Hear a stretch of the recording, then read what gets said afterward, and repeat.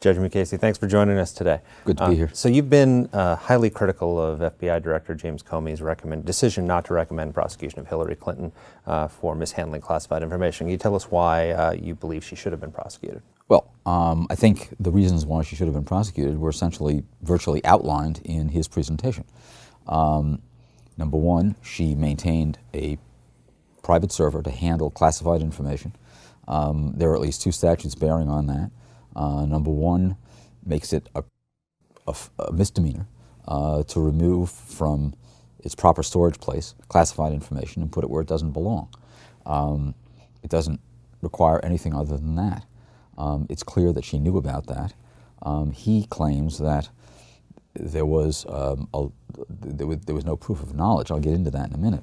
The second statute is a felony, which says that if you have classified information and have it disclosed as a result of gross negligence, uh, not even knowledge, but purposeful action, gross negligence, then um, you're subject to a, to a to, to prosecution. It's a 10-year felony. Um, the Congress wanted people who handled that kind of information to handle it carefully. He said she was extremely negligent.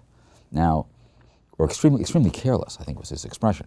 Um, I know of no logical distinction between extremely careless and grossly negligent, um, nor did he explain why there is one.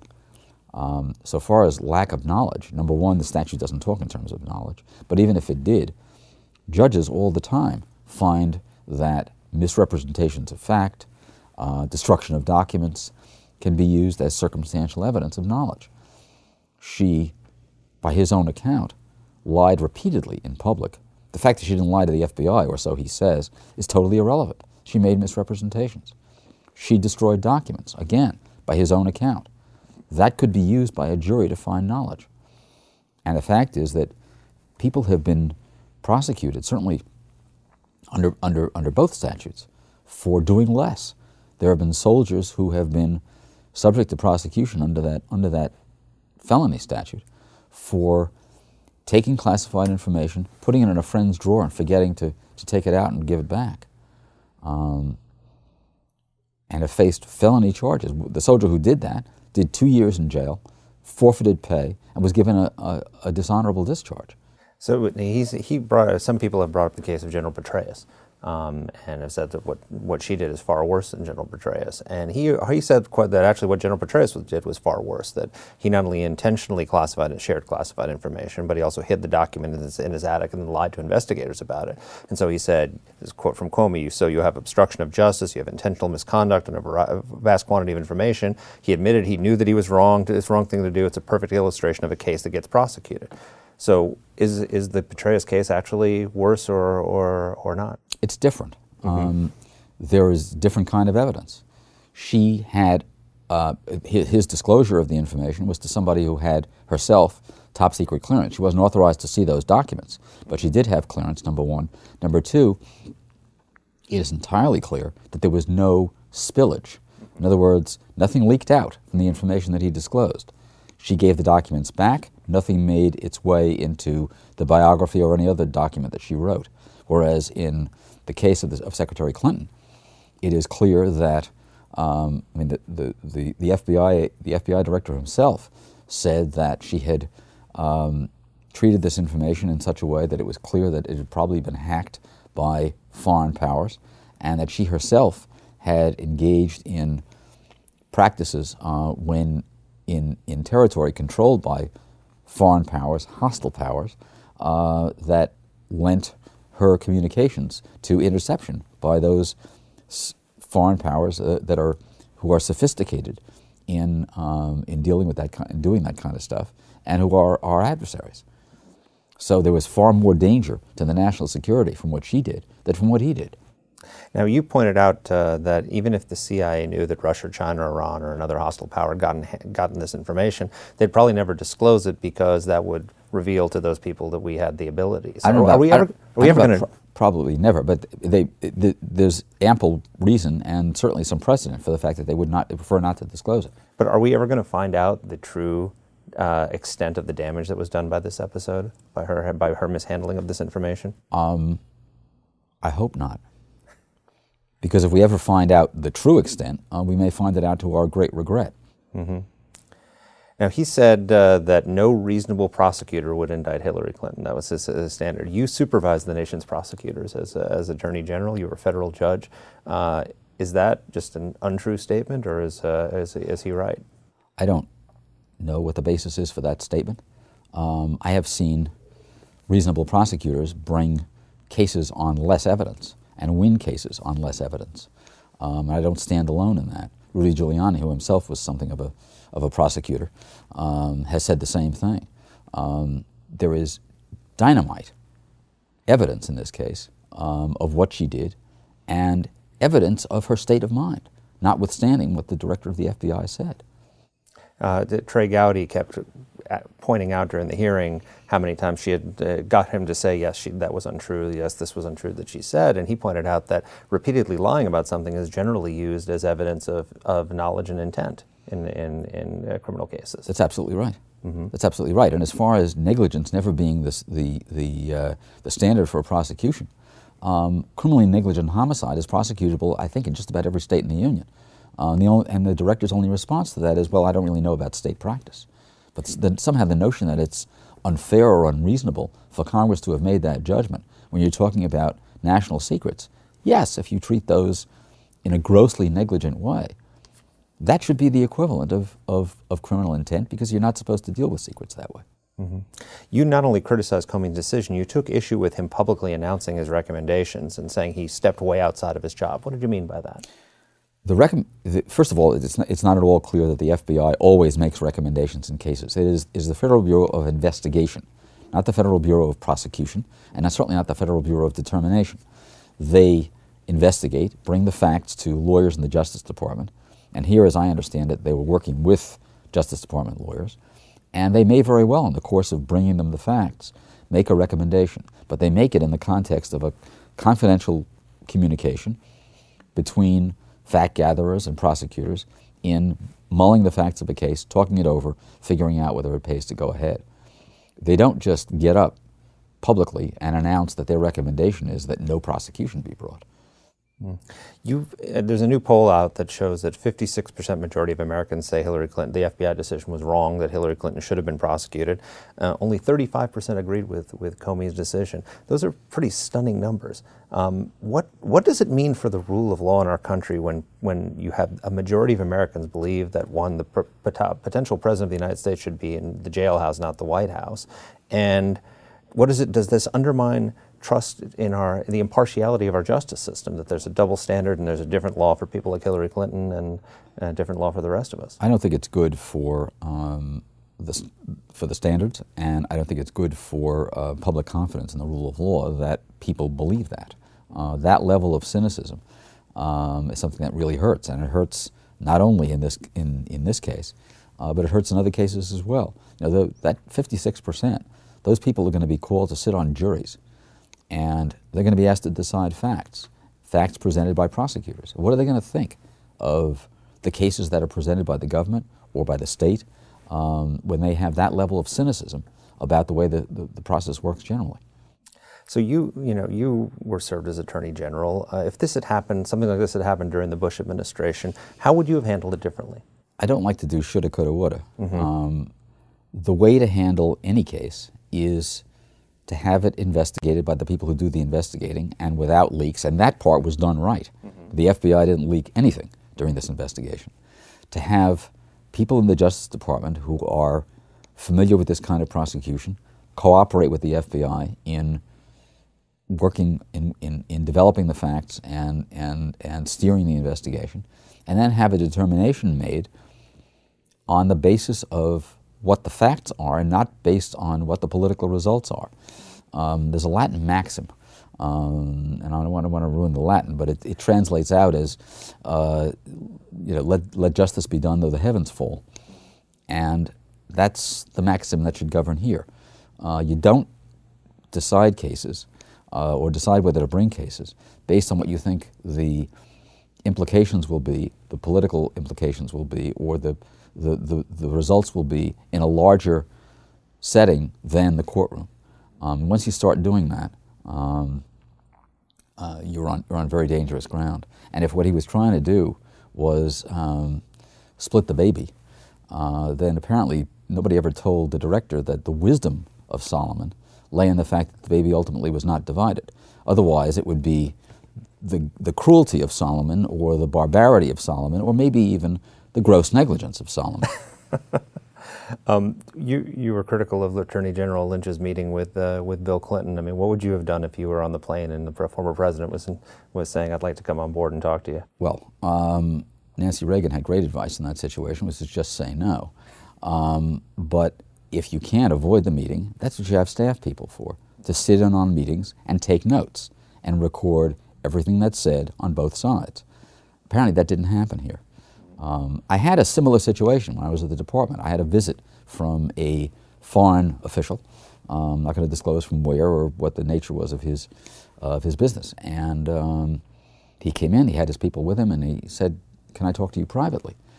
I said, No. Um, and so we sat down with a couple of his people, a couple of my people, and um, we proceeded to discuss the topic he wanted to discuss. I'm very glad that I had people there um, because what he wanted to talk about was something that we couldn't do and shouldn't do. Uh, and I didn't want a private conversation about that. And, he, and she also didn't disclose the meeting. Uh, you know, the, the meeting had happened, I think, on a Monday, and it was only on like a Thursday when, when, when someone asked her, a reporter found out about it. So they didn't even go, you know, the first thing I would think you would do if that happened would be to immediately announce that I've met President Clinton and he was, a, you know, at, le- at least be forward about it. Uh, they didn't even they didn't even disclose the existence of the meeting until they were caught. Right. Um, what, so you said that she should have, after that, she should have recused herself, but she refused to do that. So she testifies before before Congress, and more than 80 times refuses to answer any questions relating to the case. So she she refused to recuse herself, but then wouldn't, so making, which means it was her decision, but then refused to answer questions. Was, was did she have an obligation to explain to the American people uh, that decision and and answer those that questions? when you're talking about a case like that, um, there, of that visibility, that notoriety, and that importance, that yes, there's an obligation uh, for what the director described, but I don't think fulfilled as um, extraordinary uh, transparency uh, or unusual transparency. Um, yes, you should describe it and describe it in truthful terms. Um, in fact, in deferring to the FBI during her testimony, she, I, she seemed to get it backwards. The FBI works for her. Um, I mean, the, the, the, director reports to her. They don't work for her, and obviously they work for the, for the people at large, but the director of the FBI reports to the, to the Attorney General. The Attorney General doesn't report to the director of the FBI. And she even refused to answer basic legal questions. Like she was asked point blank, is it a crime to share for someone who's cleared to see classified information to share it with someone who's not cleared to see that information? And she said, "I will refer you to the uh, to the director uh, to the, Director Comey's statement." But Director Comey is not Director Comey because he is there to make legal judgments. He's not. Yes, he was once deputy AG, and he's a very fine lawyer. But that's not what that's not the function of the office that he holds. That's why I said he he stepped outside the function of his office. Do you think, based based on what we've learned about this uh, about her conduct, that if Hillary Clinton was uh, you know, Hillary Mukasey or Hillary Thiessen or so, had some other last name that she would ever, and she applied for a job, that she would ever get a security clearance? With, with this record? With this it's record. inconceivable. Yeah. How about her aides? So her aides are, uh, you know, she's if let's say she's elected president, and, and, some of these aides who are implicated in this, they would they have trouble getting security clearances to work in her administration? Look, I don't know precisely what they did, but mm -hmm. whatever got done, it certainly didn't get done alone by her. Mm -hmm. um, somebody took that material and put it on her server. Um, somebody, you know, steered that material to her, and somebody processed her messages at going out. Um, and whoever that were, or whoever they were, whoever that was, or whoever they were, um, those people ought to be um, examined. And, and uh, if after that they don't get a security clearance, I wouldn't be surprised. A lot of people were very disappointed uh, with Comey and had higher, high expectations for him because he had this reputation of being a straight shooter. He's the guy who walked into the Oval Office and told, told Bush that he would resign if he didn't, if he reauthorized the NSA program as it was, had that famous meeting in, in Ashcroft's hospital room. And so they were expecting a, little, a little bit to, for him to be similarly independent in this case. I mean, should, should are people right to be disappointed? Or were the expectations too high to begin with? Well, I was disappointed, um, but um, there's another view. I mean, the, there were column, there were there's an editorial, there were a column in the Wall Street Journal in which people said he was doing the sort of thing he'd done before. So I'm, I'm, there were a couple of views on that. I, I know the man. I don't want to sit here and skip rocks off him, but yeah. um, I was disappointed. Yeah.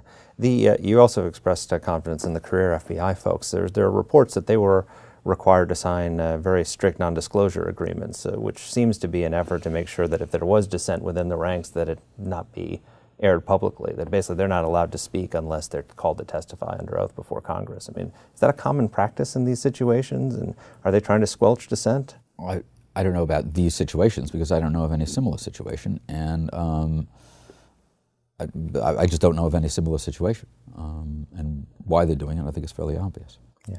Um, Comey pointedly refused to answer whether there's still an ongoing investigation into the Clinton Foundation. Uh, do you think that there may be? Uh, what, what, is your, what, is your, what is your sense that this? Well, um, it's pretty clear from what we know that there should be, um, given the decisions that were made by the Secretary of State, the money that was contributed to uh, the foundation, and from whence it came.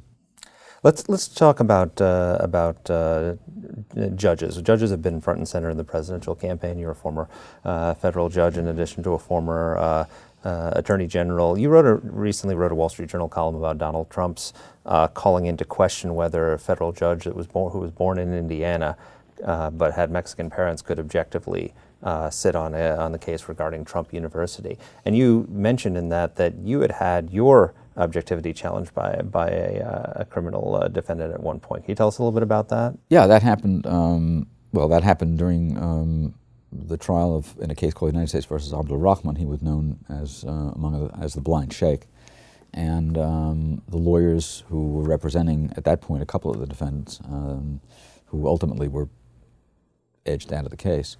Um, the first day uh, said that I should um, not be on this case because I was the wrong religion and so on and so forth. And, and my wife uh, was the principal of a Jewish school and so on. And I said, well, you know, you want to make a recusal motion, make it.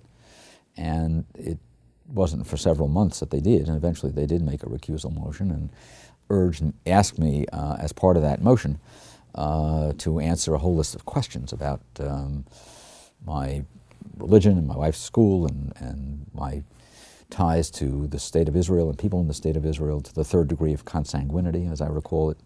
The question went, and um, just a whole lot of other stuff. They, they, the, the premise for their um, motion was that Israel was a victim or an intended victim of the 93 Trade Center bombing, and therefore um, I would have a relationship with a victim.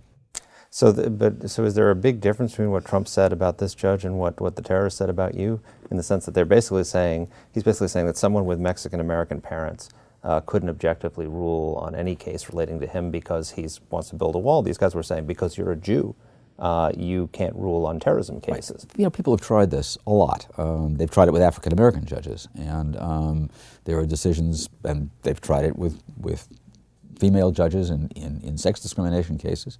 Um, I guess by by that standard, the only way, the only person who could sit on a sex discrimination case is a hermaphrodite.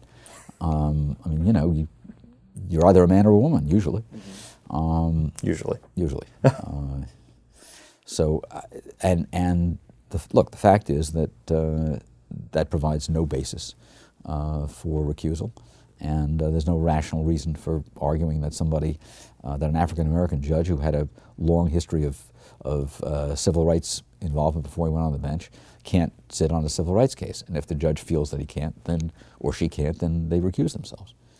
And there's a recusal motion, as you pointed out, that they can, someone can make. If they, Somebody can make a motion, so, and a so. judge is, I mean, if, it, if a judge knows of reasons why the judge can't be objective, uh, or why somebody could reasonably question their objectivity, reasonably is the key word, then they're obligated to recuse themselves regardless of whether there's a motion. Sure. Now, it's interesting because, of course, uh, what, what Trump said was troubling to a lot of people, but isn't the left a little bit culpable in all this in the sense that you, you've pointed out in your piece that uh, J- uh, Justice Sonia Sotomayor said that, uh, famously said that her background as a wise Latina with the richness of her experience would more often than not reach better conclusions than a white male who hasn't lived that life. Um, so aren't Trump's critics sort of ha- trying to have it both ways? They, they ab- embrace identity politics when it comes to judges when it's favorable to them, but they, they're offended when someone brings it up in the other direction. Sure. Um, I mean, I attended um, the confirmation hearing for a highly qualified young woman um, and heard lots of references to um, somebody being the first Asian or the first woman or whatever. And uh, I can understand that a little bit.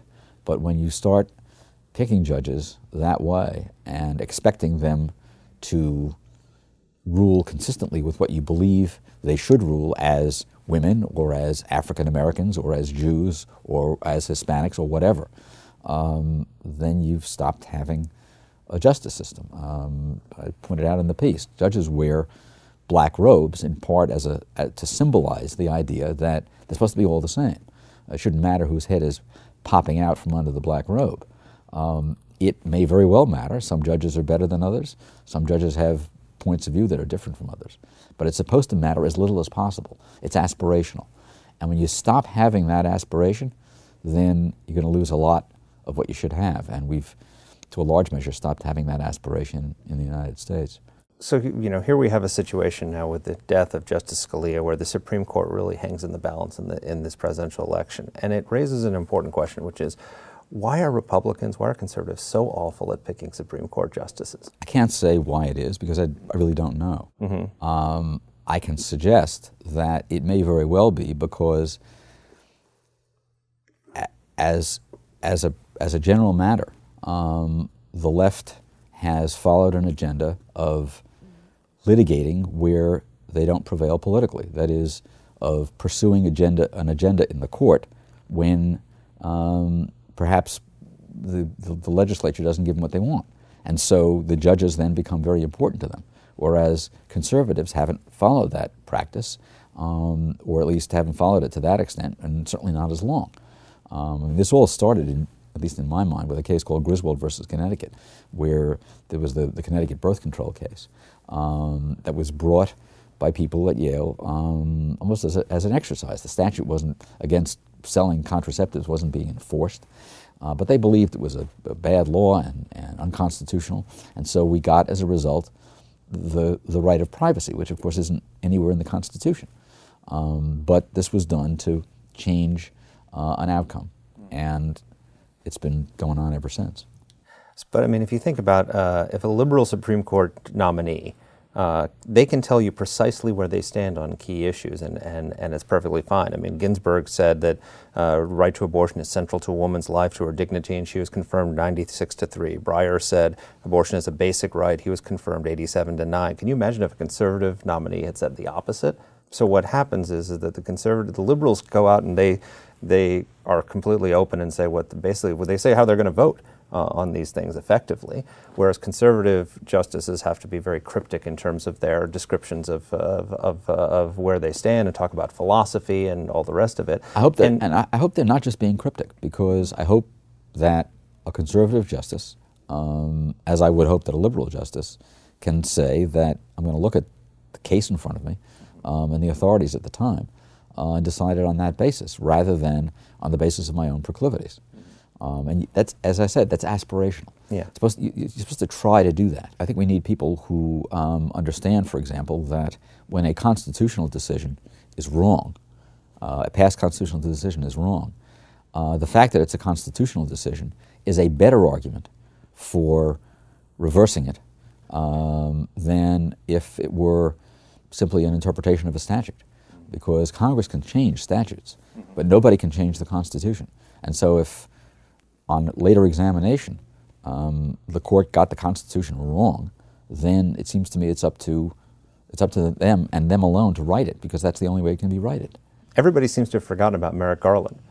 it's kind of disappeared. I mean, uh, uh, is uh, everyone thought this was going to be a terrible thing for Republicans holding up uh, Barack Obama's nominee? Did, did Senate Republicans make the right decision in not holding a vote on his uh, nomination? That's a that's a political question for Sure. them, I guess. But Yeah. certainly there is there is ample precedent for holding up um, decisions based on the expected outcome of an election. That's happened before, and um, that was the. In fact, there was there was during the um, uh, during the drafting of the Constitution, there was a debate about whether to um, make um, confirmation, to require confirmation within a certain period of time, and if confirmation were not forthcoming, then um, the, the nominee would automatically um, the nominee would automatically pass, and that was voted down.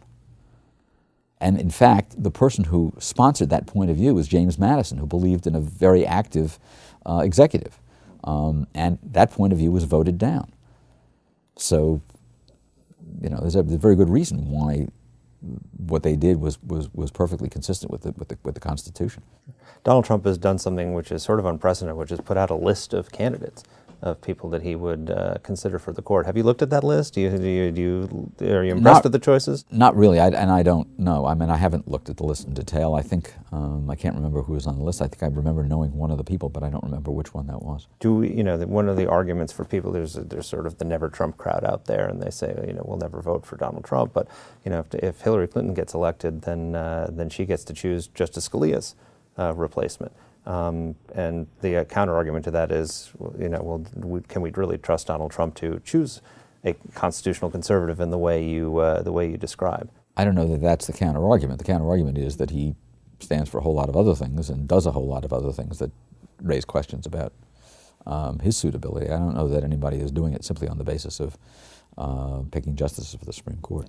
Let's talk about terrorism a little bit. You, you've been a, a strong supporter of uh, the tools that the, and an architect of the tools that the Bush administration uh, put into place uh, to, uh, to uh, fight terrorism, uh, particularly the NSA surveillance efforts. We've now seen terrorist bombings in Paris, Brussels, San Bernardino, Orlando. And do you see the pendulum swing, swinging back a little bit in terms of the public, in terms of supporting more robust counterterrorism policies? Yes, I do, and that's not surprising. But I'm sorry that it takes bloodshed to do it. Um, it shouldn't, and those policies should have been in place, uh, and should be in place. And if they were in place and seriously adhered to, it may very well be that some of this could have been avoided. The uh, you know if you th- you look at uh, Barack Obama, he said that terrorism takes far fewer lives in America than car accidents or falls in the bathtub, and statistically that's right. It's a ridiculous analogy because um, nobody is a, no, accidents happen all the time, regardless of the precautions that you take. Um, nobody is out to kill you in an accident, by definition. It's an accident. Um, same is true, obviously, of falling in the bathtub, which is a subspecies of accident. Um, people can put up with the idea of accidental death, with which they do all they can to protect against. Uh, what they can't put up with is, and shouldn't have to put up with, um, is people planning to kill them in large numbers or small numbers. Um, it's the function of government um, to stop such people before they act and protect the populace at large. Um, not to engage in a statistical analysis about whether it's worth doing it, given the number of people who are killed. He seems to treat it as like a manageable problem, like a chronic condition. Terrorism is just the, new, the it's it's like car accidents, it's like bathroom falls, it's uh, it's like uh, you know uh, bad product, uh, dangerous products that come out. This is just something that we have to live with uh, and expect to live with. We just need to manage it, not defeat it. No, because the, because the function of terrorism is to undermine public confidence in the ability of the government to protect them, um, and therefore to hew more, more closely um, to the views that the terrorists want them, to, want them to adhere to, or to be more accommodating of the views the terrorists represent. And the more you accommodate them, the more of it you get. So one of the things that people say about Barack Obama is that while he rhetorically uh, uh, challenged the Bush administration's policies, he kept a lot of the counterterrorism policies that we had in place. Um, That's true. Which is true.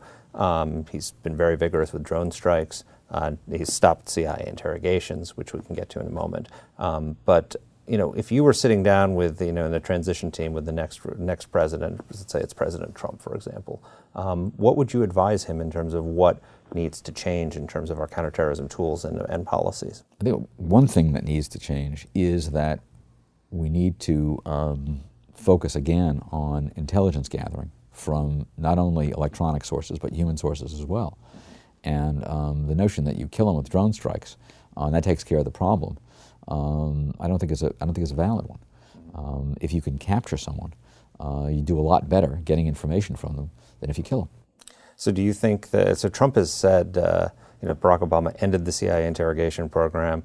Uh, Hillary Clinton obviously wouldn't bring it back. Donald Trump has gone quite the opposite direction. He's saying that waterboarding would be just the beginning of what he uh, well, what he tends to do, and he's going to do waterboarding and a whole lot worse. Look, understand that there were precisely three people who were waterboarded.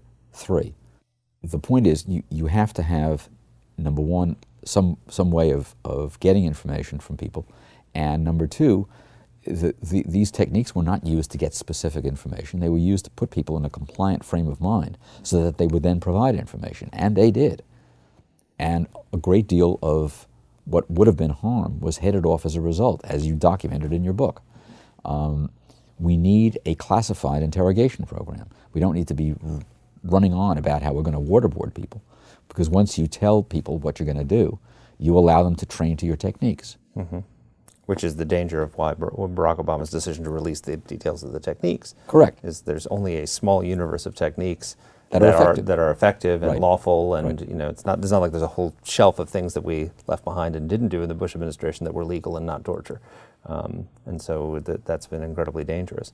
Um, t- th- one of the other things he's uh, he's proposed uh, in terms of his counterterrorism policy is the ban on Muslim Im- immigration until quote we know what the hell is going on unquote. Um, is that even if, is that a feasible policy? Do you think he's actually going to do it if he's elected, and, and is it constitutional even? It may be constitutional because um, nobody's got a right to enter this country, and constitutional rights don't protect potential immigrants to this country. So we could discriminate on the basis of religion against people who were not citizens of this country and were overseas if we chose to do it. That said, it'd be crazy. Uh, number one, how do you figure out who's a Muslim and who isn't? Um, number two, you got a whole lot of people who are already here. And number three, you're going to irritate several billion people needlessly and without any effect. It's ridiculous. And also, he's he's and, now. And, uh, yeah, and let me add one yeah. more. We, we have figured out what the hell is going on. The point is to do something about it, something effective. That's an excellent point. He's tried to tweak it in saying that he's going to ban immigration or suspend immigration from certain countries that are producing terrorists. But ISIS has people from over 100 countries that have come and trained and fought in Iraq and Syria. Sure, it has people in Europe, from Europe. Um, you going to ban, you ban immigration from Europe? I don't think so. Um, so he, uh, so the, the ban on immigration isn't, isn't going to work. I mean, what, what, other, what other tools can he use in place of that? I think he can use um, a sensible program of intelligence gathering um, and uh, a seriousness about, about dealing with ISIS. It's going to take, it is probably going to take troops. Um, I'm obviously not in, in the military, and I'm not going to presume to talk about military tactics and strategy. Um, but it's going to take, we are the only superpower in the world, so we're going to have to lead it, or else it ain't going to get done. And leading it is going to mean special forces of, in a certain measure, uh, people to train and lead um, others, but it's going to take our leadership to do it. Hillary Clinton has proposed not only allowing Syrian refugees in, but actually increasing the number by about 400 percent.